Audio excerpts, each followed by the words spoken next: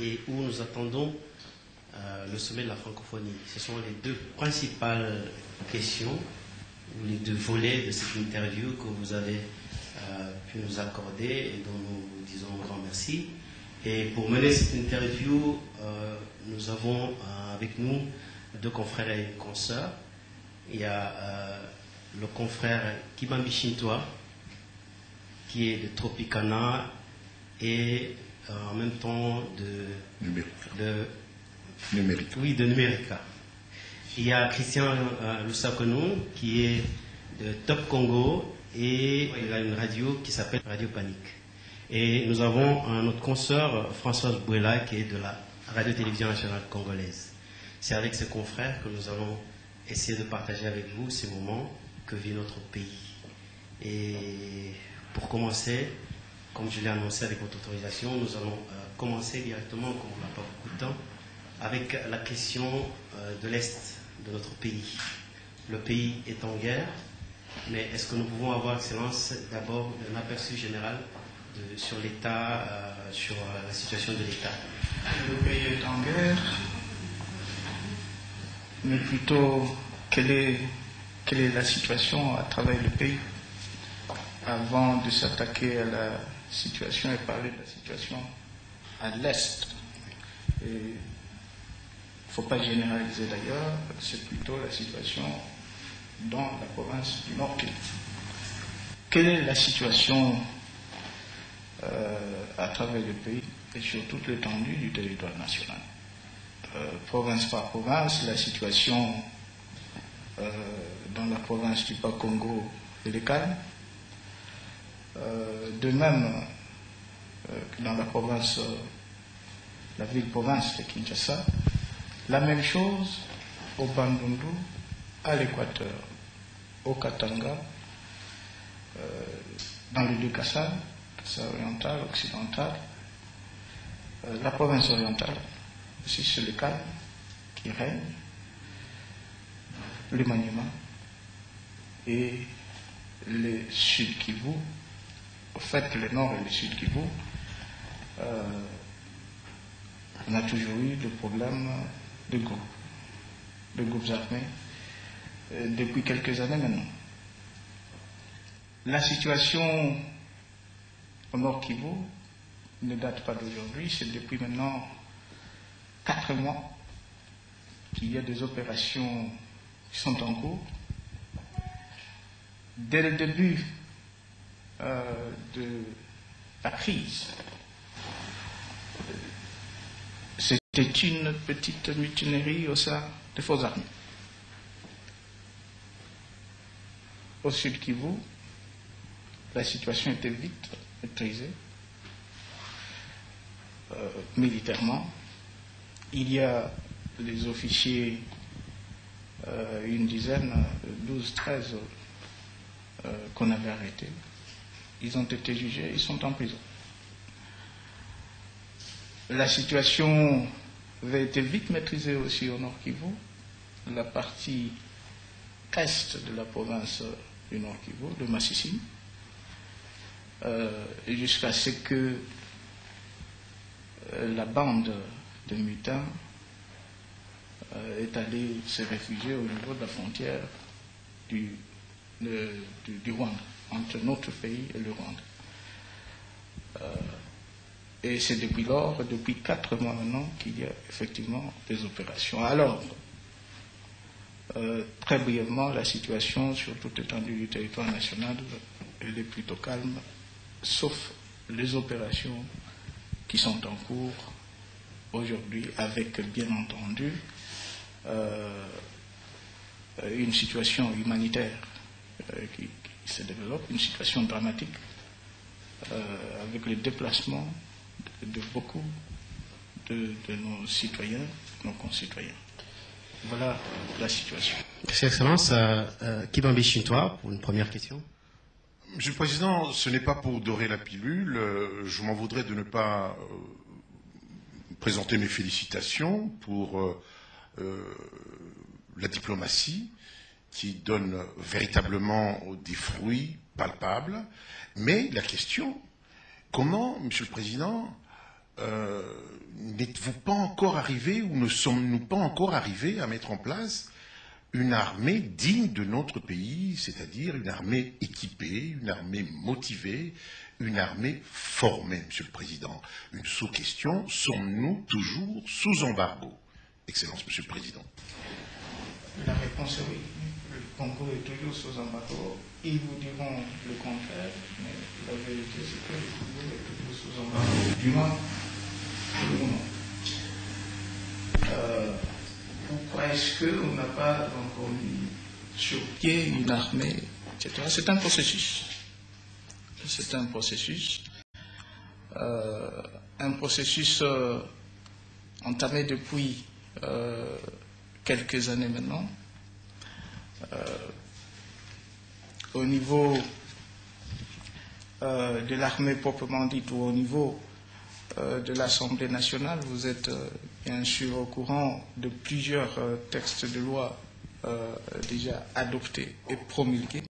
Le tout, c'est dans cette optique euh, de mettre en place une armée républicaine euh, nationale euh, pour, n'est-ce pas, la défense de la souveraineté nationale et la population congolaise. Alors, c'est un processus qui est en cours, mais bien entendu, un processus qui nous a pris beaucoup de temps et qui va certainement encore nous prendre un peu plus de temps vu les opérations qui sont, qui sont en cours depuis euh, pas de mois, mais depuis des années maintenant.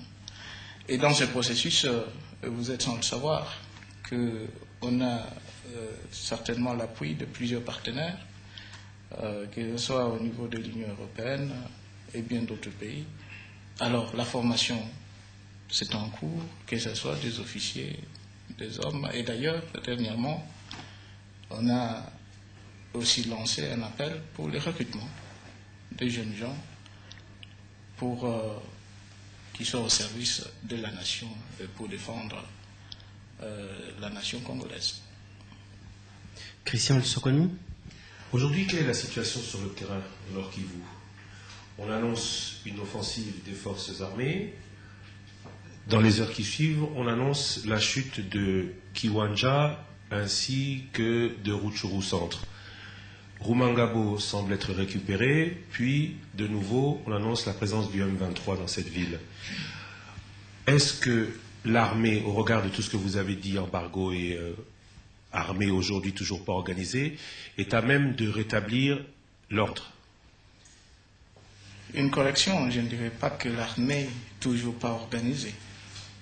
En voie euh, je disais donc que c'est un processus. Quelle est la situation sur le terrain La situation sur le terrain, c'est qu'il y a des combats, des combats, des opérations qui sont en cours.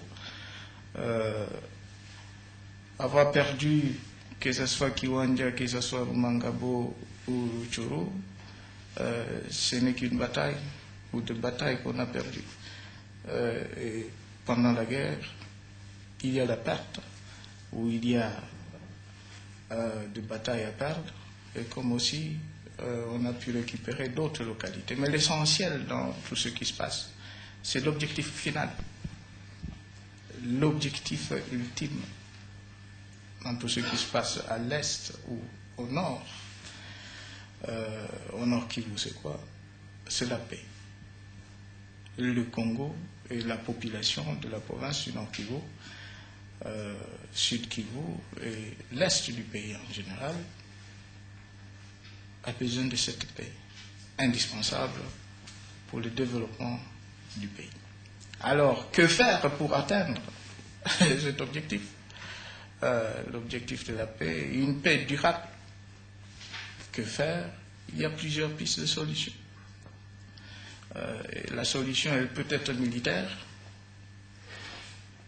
la solution peut être diplomatique. La solution, elle peut être politique ou la combinaison de ces trois. Euh, mais l'objectif à court, à moyen terme, à long terme, c'est la paix et une paix durable pour nos populations.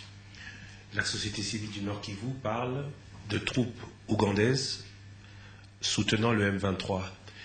Est-ce que la solution peut être diplomatique alors qu'on citait déjà le Rwanda Aujourd'hui, on cite l'Ouganda. Eh bien,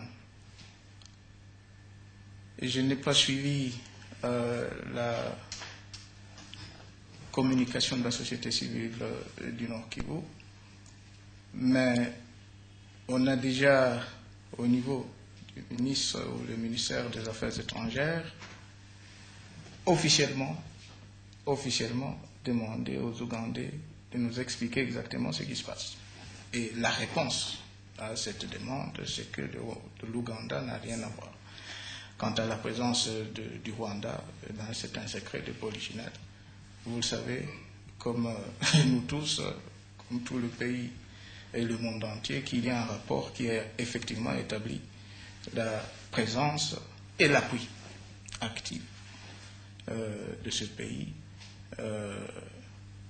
à ce groupe constitué, M23, et bien entendu à d'autres groupes. Alors, est-ce que la diplomatie euh, peut être une solution? De toutes les façons, euh, je disais tout à l'heure qu'il y a ces trois pistes de solution militaire, politique et diplomatique, ou soit euh, les trois à la fois. Mais vous avez la réponse à cette question. Françoise? Merci, Monsieur le Président, pour cette opportunité. Alors, euh, j'ai deux questions pour euh, la situation sécuritaire. Il y a à peu près, c'est au-delà de 100 jours depuis que euh, la RDC est encore une fois victime de cette agression extérieure. Mais, Monsieur le Président, nous avons l'impression que du côté congolais, on hésite pour citer nommément le nom de l'agresseur, alors que le rapport de l'ONU l'a dit. Et puis la deuxième question, Monsieur le Président, nous vous avons vu à travers les images à Addis Abeba à huis clos avec votre euh, homologue rwandais, est-ce que nous pouvons savoir qu'est-ce qui a été dit? Merci beaucoup. Est-ce que il y a une hésitation? Je ne crois pas. Mais le gouvernement ou un État ne peut pas euh, se permettre de se comporter comme euh, une ONG. il faut réunir tout ce qu'il y a comme preuve, euh, et bien d'autres éléments avant de se prononcer. Euh, c'est ce que la République démocratique du Congo a fait. C'est ce qui a aussi amené euh, aux experts des Nations Unies de publier le rapport en question, le rapport des experts. À Addis Ababa, une réunion avec le président Kagame à huis clos, avec, euh, je crois bien, le ministre Chibanda. C'était dans le cadre toujours de la diplomatie active.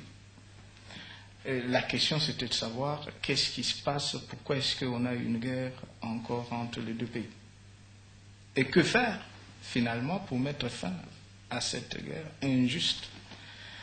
Euh, C'était ça la question. Euh, et il y a un travail qui s'est fait sur le plan diplomatique euh, beaucoup, beaucoup euh, de, nos actions sur le plan diplomatique pour finalement arriver à une conclusion, soit à une, une solution dans le cadre de ces trois facteurs, hein, la diplomatie, euh, les opérations en cours et bien entendu la politique. Euh, Excellence, Monsieur le Président, du, vivant de, feu votre père, il avait été question euh, d'une facture euh, que les, pays qui avaient accompagné l'AFDEL pour, excusez-moi l'expression, pour la victoire de feu le président Kabila. Alors, certains esprits pensent que, permettez-moi de le dire, que c'est votre entêtement à ne pas payer cette facture euh, au, Rwanda, au Ouganda, qui fait qu'on a créé le CNDP, qu'on a créé euh, le M24 pour ne pas remonter au déluge. Qu'est-ce que vous en dites, Monsieur le Président? Plutôt le M23. M23. Peut-être bientôt le M24. Euh, je, je, ne suis pas au courant d'une facture. Du moins, on ne m'a jamais présenté une facture à payer. Euh, dans nos discussions, que ce soit sur le plan bilatéral, sur le plan euh, régional ou international, on ne m'a jamais présenté une facture en ce sens, jamais. Et si elle existe, s'il y a un document qui existe, j'aimerais bien avoir ce document. Je n'ai jamais vu ni entendu.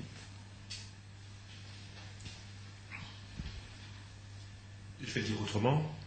Euh, la ministre rwandaise des Affaires étrangères a déclaré, nous l'avons tous entendu, que au moment où les Occidentaux demandaient une rencontre directe entre vous et le président Kagame, mais ils se parlent souvent. Certains parlant ou entre vous et le président Kagame. Qu'en est-il? Est-ce que ceux qui pensent que ce sont là les raisons des guerres à répétition à l'Est ont raison Écoutez, des guerres à répétition à l'Est, c'est presque cyclique. Euh, non. 2001, 2003,